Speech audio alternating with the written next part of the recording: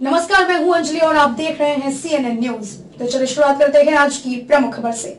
केंद्रीय मंत्री ज्योतिरादित्य सिंधिया की रानी लक्ष्मीबाई की समाधि स्थल पर नमन करने से कांग्रेस भड़क गई है। कांग्रेस ने मंगलवार को रानी लक्ष्मीबाई के समाधि स्थल को गंगा जल से धोया कांग्रेस प्रदेश प्रवक्ता सिद्धार्थ सिंह राजावत ने पुलिस का घेरा तोड़कर रानी लक्ष्मीबाई की समाधि पर पुष्पांजलि चढ़ाई। इसके बाद पुलिस ने राजावत को अभिरक्षा में लिया। कांग्रेस की टीम रानी लक्ष्मीबाई समाधि स्थल पर दोपहर दो बजे पहुँची। जिलाध्यक्ष रुचि गुप्ता की अगुवाई में महिला कांग्रेस समाधि स्थल का गंगा जल से शुद्धिकरण करना चाहती थी। वहाँ पहले से मौजूद पुलिस और प्रशासन प्रशासन ने महिला कांग्रेस की टीम को समाधि स्थल के मुख्य द्वार पर ही रोक दिया।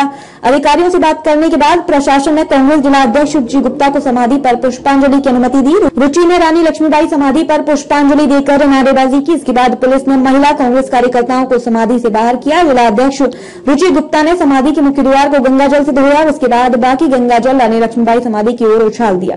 इस दौरान रुचि ने कहा कि प्रशासन ने सरकार के दबाव में उनको रोक दिया है। गौरतलब है कि केंद्रीय मंत्री ज्योतिरादित्य सिंधिया ने रविवार को राजघर आने का इतिहास बदल दिया। उन्होंने रानी लक्ष्मीबाई की समाधि पर सिर झुकाकर उन्हें नमन किया। 160 साल के इतिहास में पहला मौका था जब सिंधिया राज परिवार का मुखिया रानी लक्ष्मीबाई की समाधि पर उन्हें नमन करने गया हो।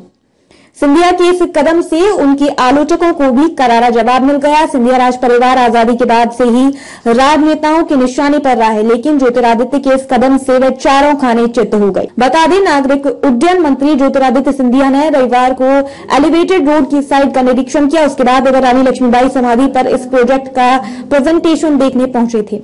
यहाँ पहुँचने के बाद सिंधिया ने प्रेजेंटेशन के लिए लगे कैंप में जाने की बजाय रानी लक्ष्मीबाई की समाधि की तरफ़ कदम बढ़ाए। सिंधिया को रानी की समाधि पर जाते देख उनके समर्थक प्रद्युमन सिंह तोमर भी पीछे चल दिए। सिंधिया ने रानी लक्ष्मीबाई की समाधि पर सिर झुकाकर नमन किया। सिंधिया ने समाधि की परिक्रमा की।